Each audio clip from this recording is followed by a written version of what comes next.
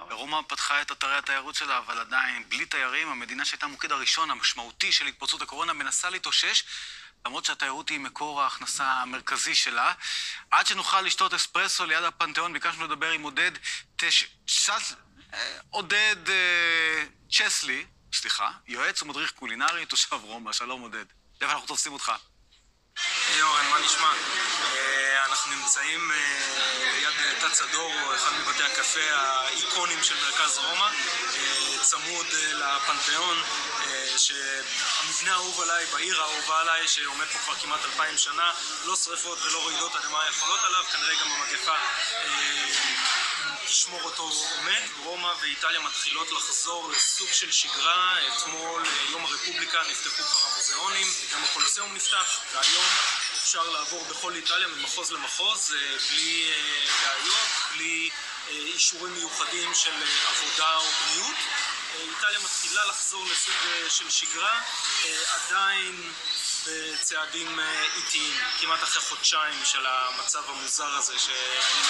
כיף להיזכר, אז בתי הקפה כבר פתוחים, מה בכל זאת השתנה? האיטלקים באים?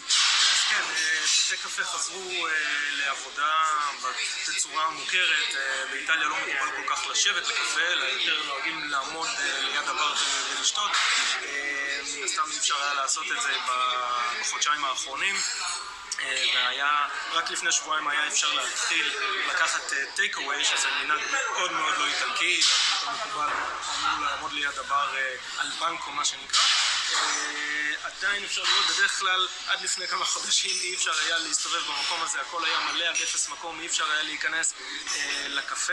היום אפשר לראות שיש מעט מאוד אנשים, אפשר להיכנס רק מדלת אחת, רק לצאת מדלת שנייה, יש עמדה לחיטוי ידיים בכניסה, על הרצפה יש מקומות מסומנים שרק בהם אפשר לעמוד, וגם אסור להישאר יותר מדי בפנים בלי מסכה וסתם ככה לדבר, שזה גם חלק מהמנהג האיטלקי. בתי הקפה זה עניין מאוד חשוב לאיטלקים, חלק מהטקס שלהם לאורך היום, ובית הקפה הזה שעומד פה כבר 75 שנה, איקוני כמעט כמו הפנתיאון, עניין מאוד חשוב, בין השאר כי הוא משמש את חברי הפרלמנט שנמצא ממש כאן מאחורה, ואפילו יצא לי לראות כמה פעמים בעבר את ראש הממשלה קונטה מגיע לכאן עם הפמליה שלו לשתות אספרסו. עודד, תודה רבה. תודה אורן. תראה ברומא, אריבדרצ'י. הלוואי בקרוב לזמרת הצעירה ומאוד מצליחה